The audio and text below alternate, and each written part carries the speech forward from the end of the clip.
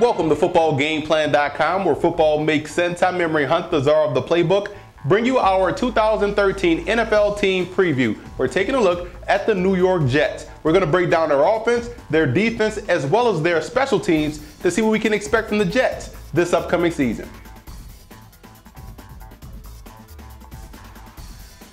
When you look at the Jets quarterback situation for 2013, it's essentially a two-man race between Mark Sanchez and second-round pick Geno Smith. Now, you can go back to Sanchez's rookie year and second year in the league when he led the Jets to the AFC Championship game, but he has regressed each and every year. The one constant with Sanchez has been the turnovers. He throws way too many interceptions. He struggles in certain situations. That right there will not win you a lot of football games. That's why I think it's important for the Jets to start Geno Smith. Sanchez has positioned himself to be a very good backup that can come in and start a game or two if need be, but Geno Smith is a guy you drafted. He's the better quarterback, and he can help you win football games. He's a smart, cerebral player that can spread the football around to many targets. And if you're a coach, you can trust Geno Smith. You can trust that he can make the right decision with the football. You can't say that about Sanchez. And if my job is on the line, like Rex Ryan's job may be on the line this season, he needs a quarterback that he can trust. Here's a guy that never threw over seven interceptions in his career at West Virginia, and he played in two separate offenses. So I think the Jets can do the right thing by starting Geno Smith, starting fresh, having a very solid and capable backup in Mark Sanchez, and that's the only way to rectify this quarterback position.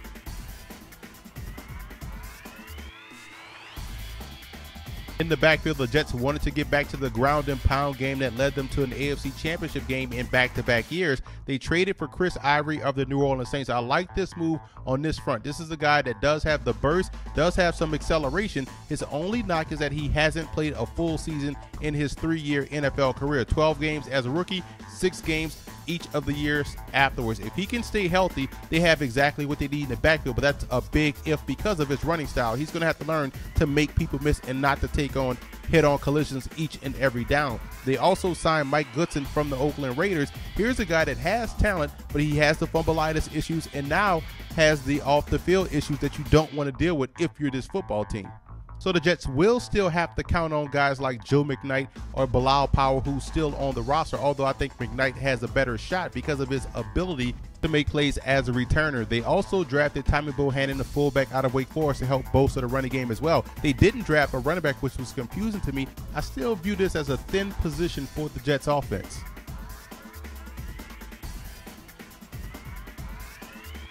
Biggest question mark on the Jets offense is not the quarterback position, it's the receiving corps. When you look at this group of guys, you don't see a clear number one threat. And if you don't have threat, you need someone that's consistent. I know they get Santonio Holmes back from injury, but we don't know when he will return from injury. When he's out there healthy, 100% and motivated, yes, he's a very good player. They also bring back Clyde Gates, who has some deep speed, as well as Jeremy Kerley, who does a great job in the slot. He's a keeper, in my opinion, but they really need Stephen Hill to step up and be the guy they thought they drafted in the second round. He's a body catcher, in my opinion. I don't think he's going to be anything more than a third or fourth wide receiver, but they need him to be consistent week in, week out. He has to get better this year in order for the Jets offense to take off. But all is not bleak in the receiving corps, in my opinion. When you look at some of the guys they have on the roster, Jordan White out of Western Michigan was a very good college player. I think he deserves more of an opportunity this year, as well as undrafted free agent Ryan Spadola and Zach Rogers. Both of those guys were highly productive at the collegiate level. You just want guys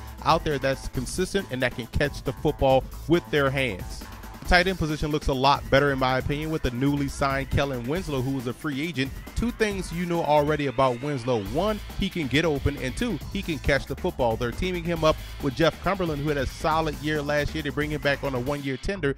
This makes a formidable one-two punch for the tight end position and helping that quarterback out. Also, keep an eye on undrafted rookie free agent Mike Shanahan from Pitt, who was a receiver in college. They're moving him to tight end. He has very good hands, and I think he also gives you that flexibility of being able to flex him out as a receiver and hoping to get that matchup versus a linebacker or a safety.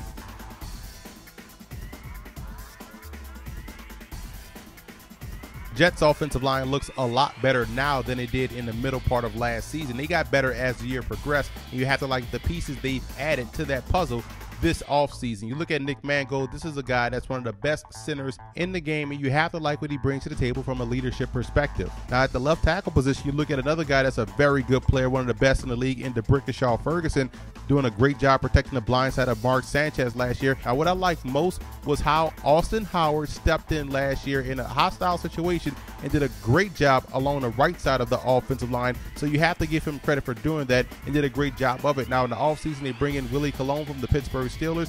Hopefully, he can stay healthy because if he can, the Jets got themselves a steal with a guy that's a dominating run blocker. And they drafted Brian Winters out of Kent State. I think this guy may end up starting at guard. Love what he brought to the table for the Golden Flash as a guy that excels in both pass blocking and run blocking. And when you look at Oday Aboushi out of Virginia, he's another versatile player that can play either guard or tackle. So you see the Jets want to come in and build depth alone at offensive line to avoid that situation that happened last season where they struggled early on in the year. And they also added Stephen Peterman from the Detroit Lions, a veteran guy that also can provide quality depth.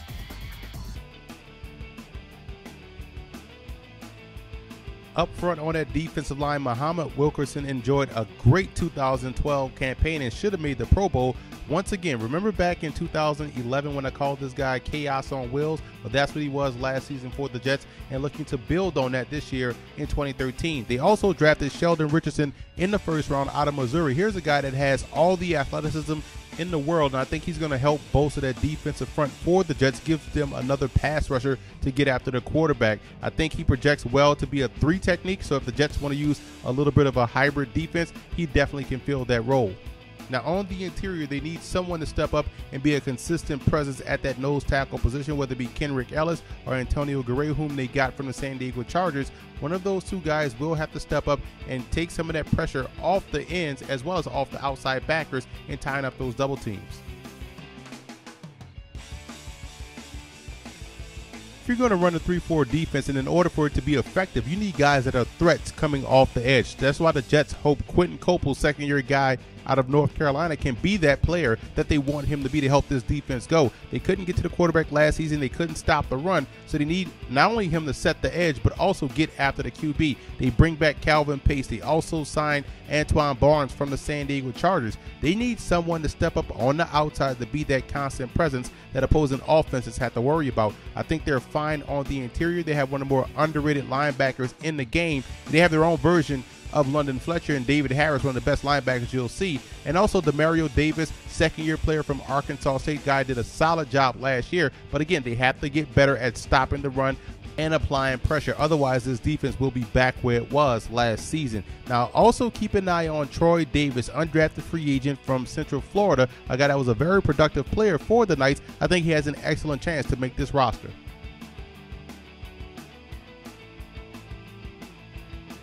Yes, Darrelle Revis is gone, but all is not lost back there in the Jets secondary. If you ask me, they still have a pretty good player in his own right in Antonio Cromartie, a guy with long arms, tremendous speed, and has the ball skills to come away with some interceptions. He's going to mentor the young guy whom they drafted in the first round, Dee Milliner out of Alabama, whose style eerily compares to Darrelle Revis. Not saying he will be Darrelle Revis, but he has the same type of skills as Darrelle Revis, a guy that can get in your face, do a great job with bump press, has recovery speed, and is a very good tackler. So I'm fine with Milliner and Cromartie as the starters for the Jets. Now, the nickel and dime position is where I have some questions. Will it be Aaron Berry, who came over late last season as a free agent, or will it be Kyle Wilson? Will he finally step up and play like we saw him play at Boise State? At the safety position, they bring in Dawan Landry from the Jacksonville Jaguars, who's a very solid safety. I like that pickup. And opposite of him is going to be a combination of guys. Maybe Antonio Allen, who they drafted last year, or Josh Bush, whom they also drafted last year. But my bet is on an undrafted free agent in Rontez Miles out of California, Pennsylvania. This is a guy that plays like LaRon Landry as a free safety. He has the ball skills, but also is a ferocious tackler. So I think the only questions you can have about the Jets secondary lie in the depth and not the frontline starters.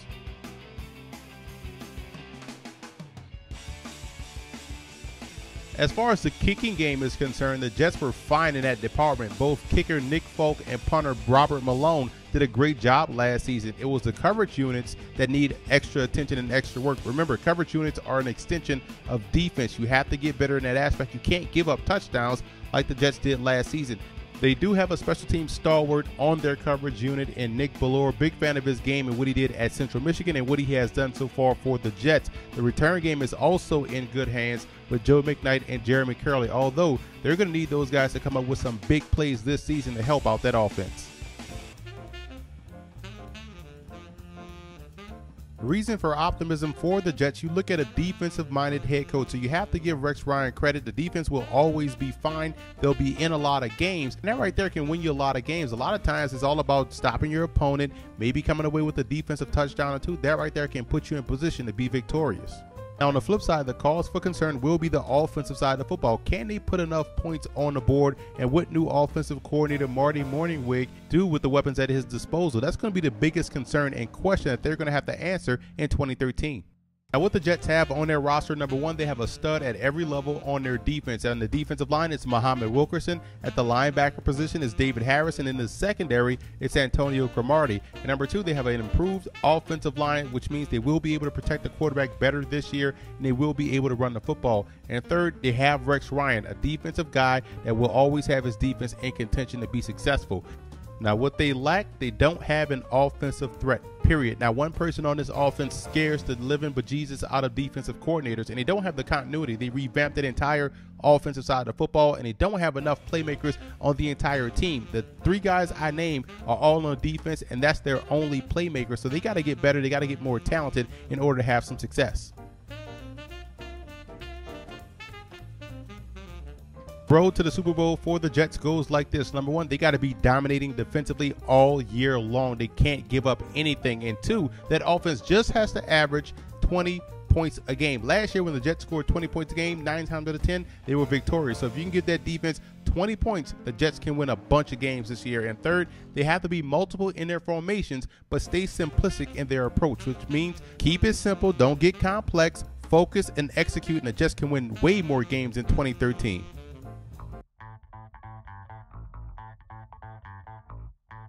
Have the Jets finishing fourth in the AFC East. This looks like a rebuilding year for the Jets. I think they're going to try to win games defensively and hope the offense comes along as the season progresses. But right now, I don't see enough playmakers on the offense side of football to pose a threat to any of the teams that I have rated above them. And I also want to give a huge shout out to Jet Fan Forums for always showing football game plan support.